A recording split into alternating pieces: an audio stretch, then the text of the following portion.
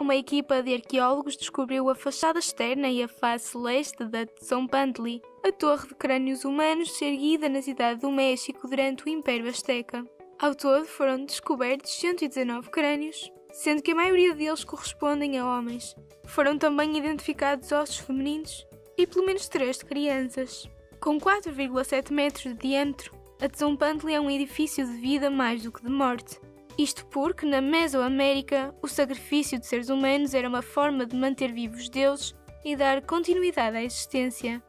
A Tzompantli era mostrada aos adversários do Império Azteca como forma de advertência, pelo que era também uma declaração de poder e princípios bélicos. A estrutura foi erguida em homenagem à maior divindade azteca entre 1486 e 1502.